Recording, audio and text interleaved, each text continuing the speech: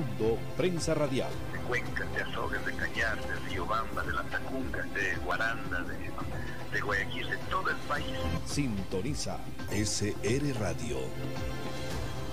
Город Лоха – это культура, это политика, это общественное мнение. СР Радио – это культура, это политика, это общественное мнение.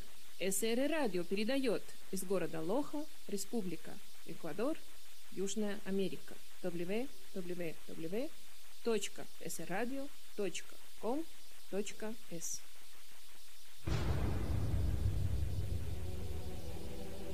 En Prensa Radial. El análisis político del momento. Seguimos informando a través de Prensa Radial, noticiero que se transmite desde la provincia de Loja. Estamos con el ingeniero Diego Ramón, él es asesor de, de Regenerar y representante de Regenerar con quien vamos a conversar. Topar el tema de Regenerar en la ciudad de Loja, principalmente en las últimas precipitaciones pluviales donde algunos eh, problemas se presentaron en dicha infraestructura que fue reconstruida en la ciudad, principalmente en el casco urbano antiguo de la urbe lojana. Señor ingeniero, buenos días, bienvenido a Prensa Radial. ¿Qué podemos hablar sobre regenerar y los últimos, uh, las últimas precipitaciones pluviales donde hay problemas, señor ingeniero? Buenos días, bienvenido. Eh, muchísimas gracias, Pablo Lindon. Este, un agradecimiento a ustedes por la invitación. A la ciudadanía, eh, evidentemente, un respetuoso saludo. Yo creo que eh, una máxima en el tema de ingeniería es que la lluvia es el mejor fiscalizador para las obras. Y a mí me parece que efectivamente eh, lo que pasó en estos últimos días eh, de manera clara demuestra los problemas que el proyecto Regenerar eh, tiene. Ya. Situación que no la podemos ocultar ni, ni mucho menos este, esconder. en esa perspectiva, algunas conclusiones iniciales de esto. Primero, de que en todo proyecto que, que, que, es nuevo, digamos, hay un margen eh, tolerable de, de, problemas que se pueden eh, dar. En este caso nos parece que ha sobrepasado ese nivel tolerable que se da eh, en, en, procesos de esta envergadura. Por otro lado, se supone que siendo un proyecto nuevo, siendo un proyecto completamente este digamos, que, que, ha sido construido en su eh, totalidad, no debería haber tener los problemas que tiene. Eh, un segundo elemento que nos, eh, que nos encamina a esta situación es qué es lo que falló aquí, o los diseños o la construcción. Y nos parece a nosotros que en, en, ambos, de, ambas cosas hay. Entonces, para, para empezar, em, si uno revisa el, el proyecto original, el proyecto original, eh, lamentablemente, fueron cambiados los diseños. Y eh, hasta ahora nosotros hemos estado eh, investigando, revisando por qué se cambiaron los diseños y no hay una clara definición de por qué fueron cambiados estos diseños. Entonces, por, decirle algo, en, el tema de agua del sistema de alcantarillado pluvial, había una serie de desfogues a lo largo del proyecto que no fueron construidos, por ejemplo. Segundo, eh, se, supone que eh, tenemos un sistema de alcantarillado eh, separado, es decir, sanitario por un lado y pluvial por el otro lado. Sin embargo, de lo que ha sido expresado por la misma consorcio constructor, solamente en las dos primeras etapas este, se cumple cabalmente esta situación. En el resto de etapas del proceso constructivo, que fueron seis etapas, este, allí más bien eh, las aguas pluviales de las viviendas están conectadas al, al, alcantarillado sanitario. Entonces, evidentemente ya, ya insisto, desde, desde esa perspectiva comienzan a haber problemas. Y por otro lado, eh, en, el, en el proceso constructivo nosotros, eh, en, en algunos casos que nos ha tocado, digamos, por reclamos ciudadanos o en estos últimos días por la intensidad de las lluvias, eh, hemos detectado que hay problemas constructivos también, que no se ha construido adecuadamente el proyecto. Entonces, en esa perspectiva, este, eh, es muy preocupante lo que está pasando porque definitivamente eh, un proyecto nuevo no debería tener este tipo de problemas.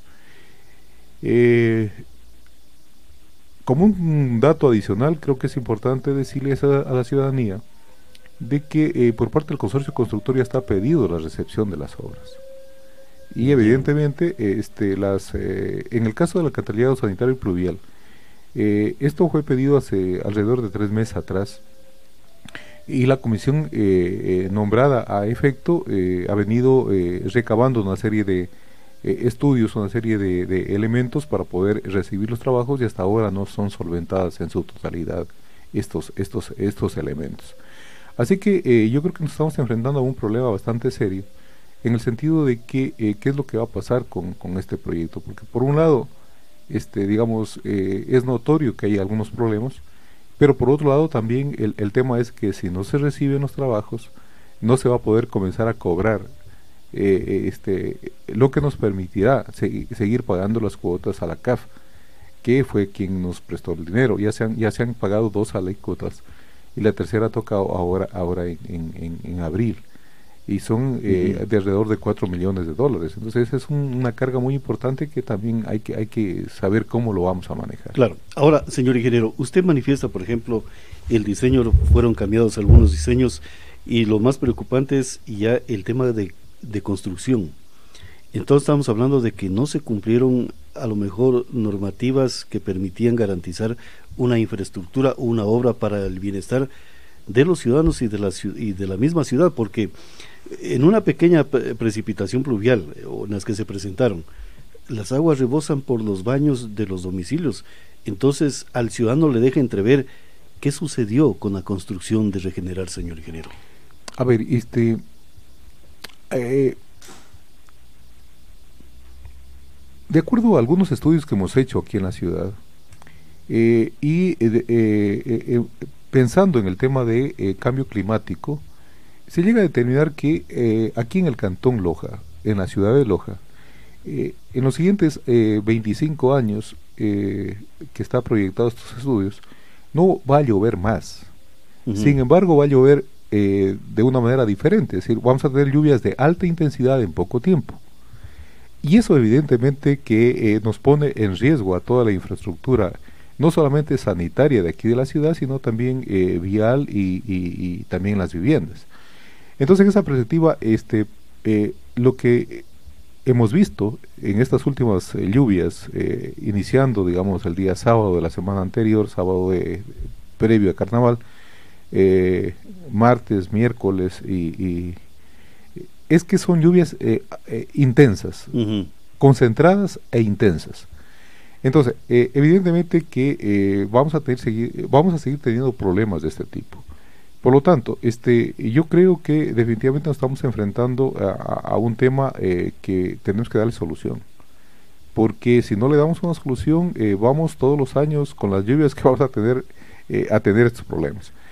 yo me temo que efectivamente, y vuelvo a repetir, de que en el caso del proyecto Regenerar, algunas cosas que se pudieron haber hecho de otra manera no se la hicieron. Me parece a mí que se tomaron decisiones equivocadas en el momento de eh, la construcción del proyecto. Señor ingeniero, seamos más explícitos. ¿Qué temas son los que no se hicieron correctamente y qué es lo que podemos hacer de aquí en adelante? A ver, eh, eh, en, para mí, modo de ver, primero no se debieron haber cambiado los diseños iniciales que, que, establecían que habían desfogues a lo largo del, del, a lo largo del proyecto. Eso eso hubiera digamos, ayudado mucho.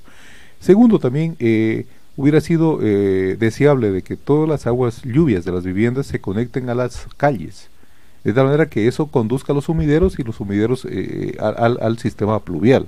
Situación que tampoco, como vuelvo a repetir, está en toda la ciudad establecida de esa manera, en, en todo el proyecto de, regeneración. O sea, no es problema desde las viviendas, sino la parte ya de la vereda hacia la calle. Mire, el, el tema es que de la vivienda se tiene que ir a algún lado esa, agua que se recoge dentro de la vivienda, ¿no es cierto?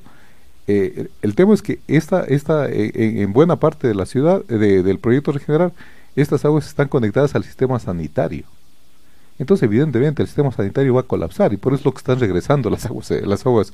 Y lo que usted dice, es decir, que, se, que en algunos casos por los baños mismos, porque el, la tubería de agua, de agua sanitaria se llena tiene una sobrepresión y vuelve a regresar por donde entró el agua. O sea, ese es el problema que se está dando.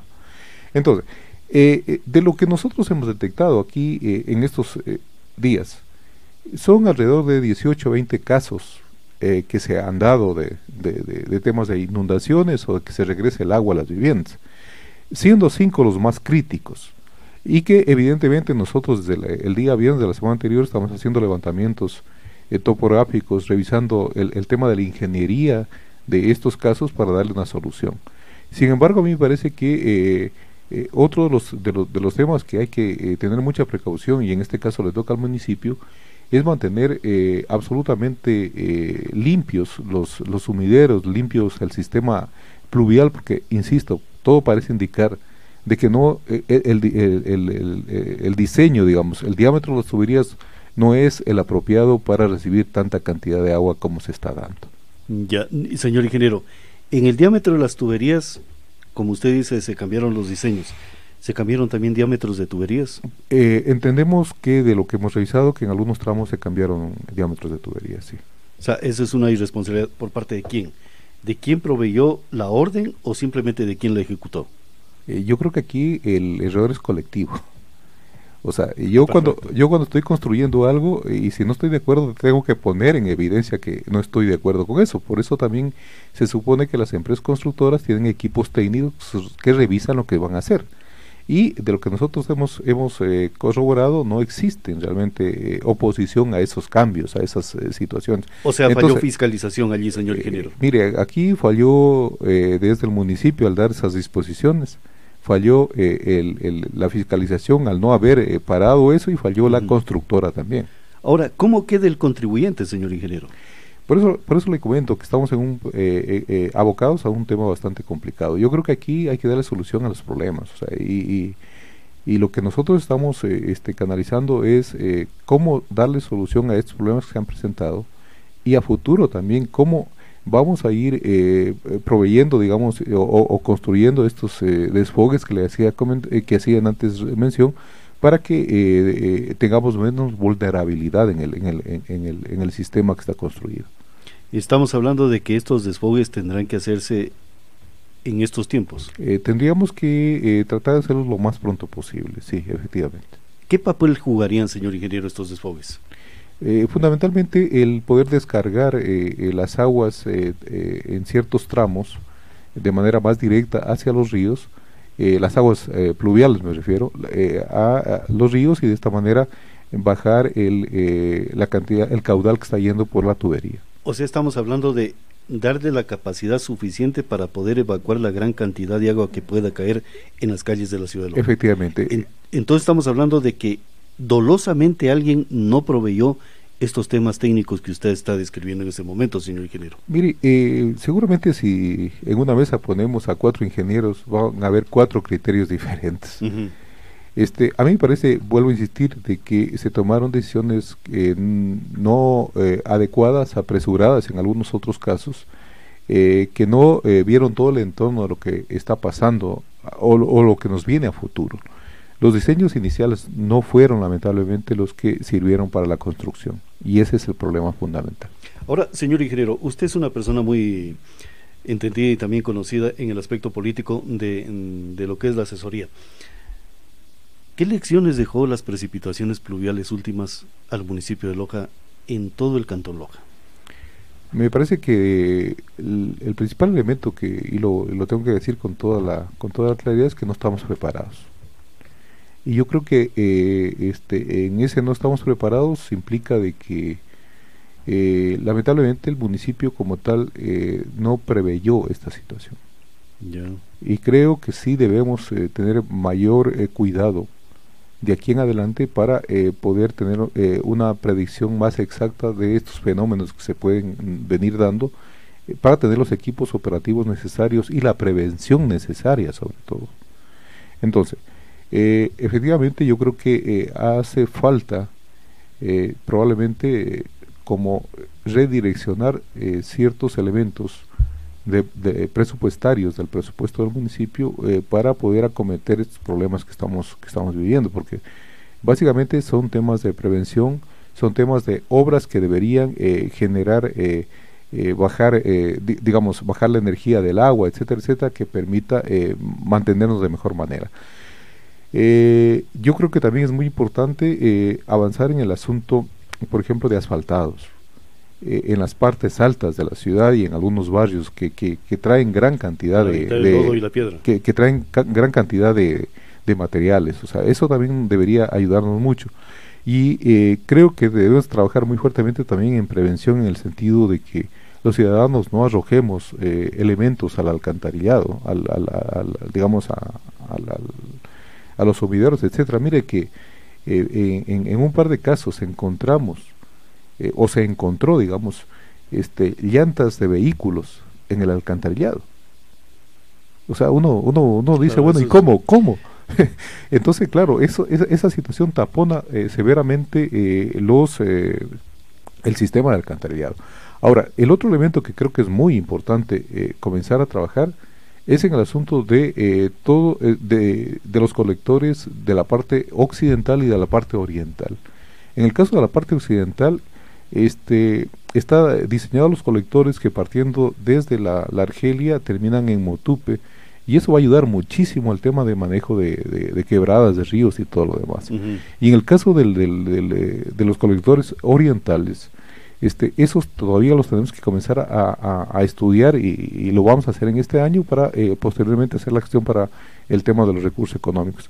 Estamos hablando de que para estos dos, dos, dos grandes proyectos, estaríamos eh, necesitando alrededor de 20 millones de dólares que hay que comenzar a hacer la gestión eh, a nivel, bueno, fuera para, para poder conseguir estos recursos, porque definitivamente tenemos que irnos preparando a las puertas que tenemos del, del, tema climático. O sea, realmente cada año va a, darse estos fenómenos con mayor fuerza y no estamos preparados, insisto, no En otras palabras, señor ingeniero, usted está manifestando, gracias a Dios, que no siguió lloviendo en la misma intensidad y hubiésemos tenido problemas muy serios en la urbe. Hubiéramos tenido problemas de mayor envergadura. Y yo creo que todavía no es, no es que estamos ya, eh, ya hemos salido de esta situación. todavía estamos. Estamos, estamos. Y probablemente, eh, eh, digamos, en el país, el, la forma de, de, cómo se han dado las precipitaciones en este año han sido muy diferentes, atípicas de los años anteriores.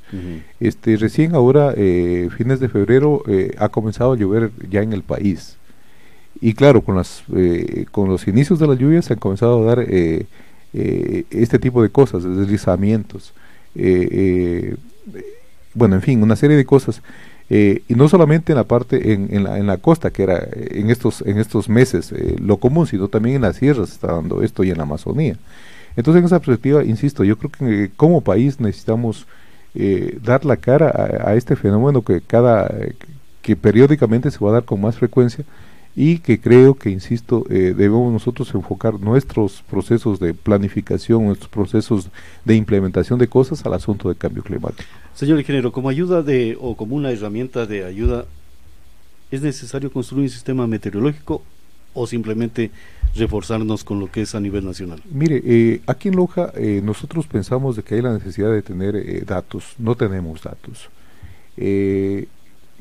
Tenemos aquí en Loja una estación eh, completa que es la que trabaja en la Argelia, que viene periódicamente dando información y todo lo demás, pero del resto son eh, estaciones que eh, dan información parcial de las cosas.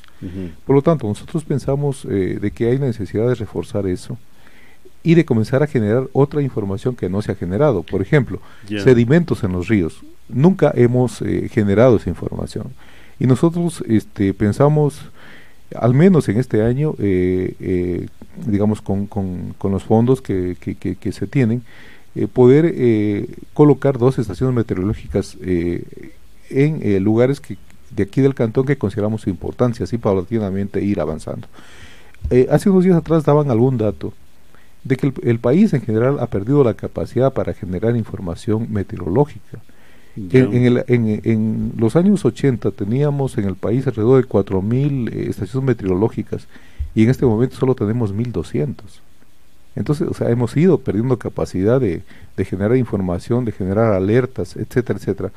Y eh, también, eh, digamos, nos parece que es muy importante que comencemos a generar todo un proceso de alerta temprana de alerta temprana que nos permita a los ciudadanos poder tomar precauciones, porque llega un momento en el cual eh, la avalancha viene y no estamos eh, en capacidad siquiera de poder eh, ponernos en, salvaguarda, digamos. Claro. Entonces, en esas perspectivas creo que hay que trabajar, insisto en ello, de una manera muy seria en esto en los siguientes años que nos permita efectivamente estar preparados para enfrentar lo que se nos viene. Señor ingeniero, estamos hablando de crear una unidad meteorológica del municipio. Mire, eh, en Porque sería importante la información que pueda desprender esa unidad, por ejemplo, para el tema constructivo, para el tema agrícola y otras actividades Mira, más. Este, aquí en el municipio tenemos dos, dos tareas así eh, urgentes por, por cumplir eh, en, este, en este aspecto.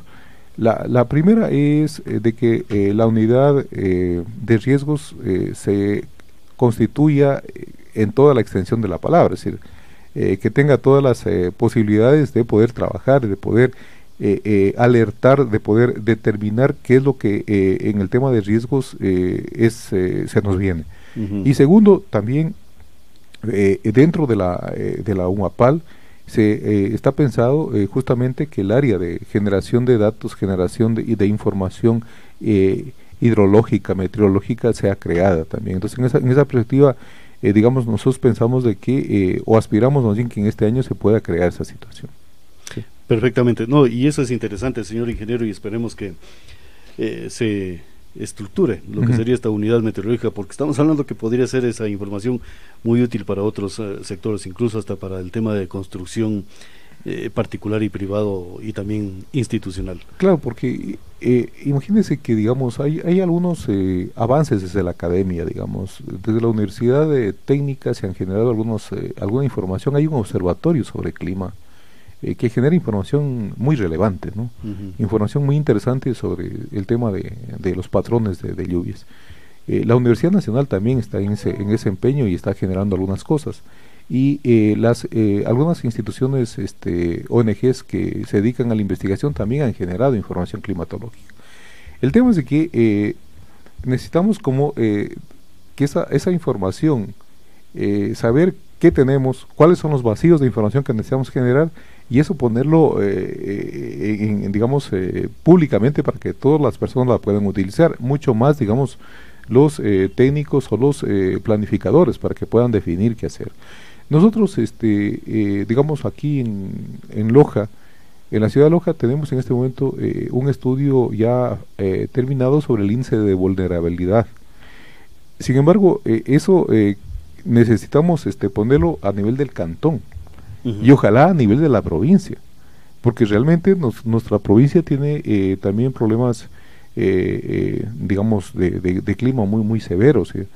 probablemente acá tengamos exceso de lluvia, pero en algunos cantones tenemos deficiencia hídrica. Entonces, en, esa perspectiva, yo creo que nosotros, este, no solamente aquí en el cantón, sino en la provincia, necesitamos ir enfocando esta situación para poder proyectar qué es lo que se nos viene posteriormente, porque digo, de los eh, eh, estudios realizados, de los eh, análisis que se han hecho, realmente lo que vamos a tener es una mayor intensidad de lluvias en tiempos más cortos. Y eso realmente pone en severo riesgo todo. Señor ingeniero, una pregunta final en este tema, aunque es otra característica, ya no del tema regional, pero sí del deber del municipio. Estamos hablando de una epidemia global que se está presentando ya en los países y el Ecuador ya no es la excepción en ese sentido. Hablamos y alguna vez hice un comentario en el sentido de que este, esta epidemia va a modificar muchos cuerpos jurídicos nacionales, internacionales, incluso cantonales.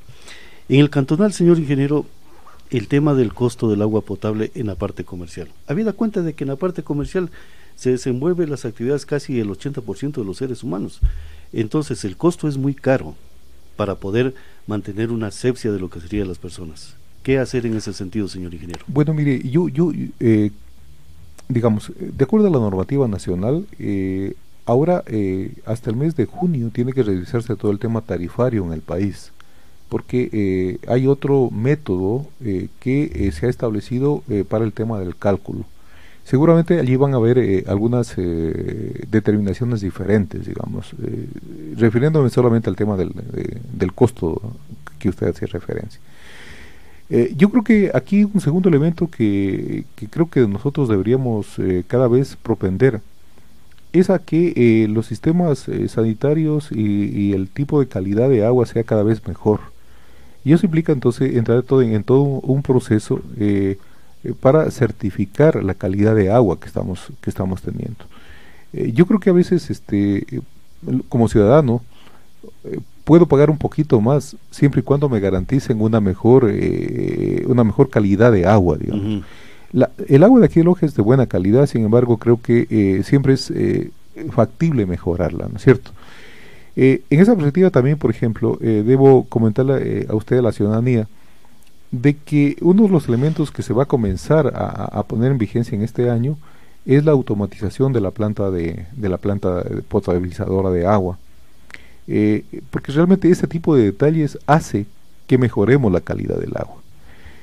aquí, aquí en Loja el problema no es la cantidad de agua, es la, eh, seguramente eh, la, posibilidad de potabilización de agua. Entonces, allí hay todo un eh, proyecto que desde el ingeniero Rafael González lo ha venido desarrollando en la perspectiva de poder tener mayor autonomía con el sistema. Es decir, por ejemplo, no, es, no es posible de que hayan dos, tres, cuatro días, en este caso ya con el de hoy, que ciertos sectores de la ciudad no tienen agua por una ruptura que se ha dado en el sistema en el sistema de que viene de, de, en el llamado plan maestro no es cierto entonces eh, si nosotros tuviéramos mayor independencia eh, de la potabilización de agua si tuviéramos mayor independencia de los sistemas de eh, captación y conducción probablemente tendríamos una mejor capacidad de respuesta a todo esto. Entonces en, en, el caso en el caso municipal lo que queda es ir eh, optimizando el, eh, digamos el sistema, irlo independizando el sistema para que sea eh, menos vulnerable y sobre todo garantizando que la calidad y la provisión de agua se dé las 24 horas del día de la calidad necesaria que tenga que, requerimos los ciudadanos. Entonces yo yo yo pienso que y, con, con ese senso, tratando de dar respuesta a lo que usted dice, a mí me parece que por lo menos aquí en Loja, lo que deberíamos eh, pretender hacer en los siguientes eh, meses y años es a que el sistema sea un sistema que se maneja de manera eh, independiente, de manera clara y sobre todo con indicadores de gestión e indicadores de calidad lo suficientemente fuertes como para podernos garantizar de que el, agua es de buena calidad. Desde allí el tema ya comercial es, es un segundo elemento que, que vendría pero como le digo, este, en este momento hay otro, eh, hay otro eh, mecanismo eh, que tenemos que adoptar como municipios, dado por el órgano de control estatal, de que va a cambiar fundamentalmente la forma de pago, la forma de cobro y de cálculo de, del agua. Esperemos que no se pierda el derecho constitucional y también el derecho humano de accesar a las fuentes o al recurso hídrico para consumo humano, señor ingeniero. claro, bueno, eh, esa aspiración, digamos, de que eh, el agua sea eh, para consumo humano, sea eh, la primordial dentro de la escala de, prioridades, eso no se debe perder porque definitivamente es un derecho humano. Yo considero que el agua es un derecho humano que no, no nadie nos la puede quitar. Claro, porque en este momento este, esta epidemia nos está dando esa, esa lección en el sentido que, por ejemplo, en un comercio, para poder mantener la asepsia, aunque sea de sus vitrinas, se necesita una cantidad de agua para poder limpiar o simplemente mantener ese nivel de seguridad sanitaria, señor ingeniero. Eh, claro, este, pero eh, probablemente eh, es verdad. Yo creo que esto va a hacer que cambiemos muchas de las cosas que hasta ahora hemos venido manteniendo. siempre he manifestado, va a haber cuerpos jurídicos que se van a modificar en este momento. Usted, usted lo plantea bien. Seguramente va a cambiar drásticamente la forma de enfrentar el día a día, la mm. cotidianidad nuestra va, va a cambiar. Pero de allí también a digamos, a a generar, digamos, eh, un exceso, yo creo que hay que, hay que tener un poquito de cuidado, porque definitivamente lo que usted plantea es, verdad. Eh, seguramente vamos a tener que estar limpiando con mayor frecuencia todas las cosas, etcétera, etcétera. Eh, y eso probablemente va a producir mayores gastos en algunos elementos. Pero no nos olvidemos también del otro elemento del, o, o, del, de la otra situación, que es el tema ya ambiental como tal. Es decir, no podemos tampoco exceder el tema de uso de jabones, el uso de ese tipo de cosas, porque definitivamente eso en cambio eh, da a la naturaleza un, peso demasiado grande que no lo va a poder asumir.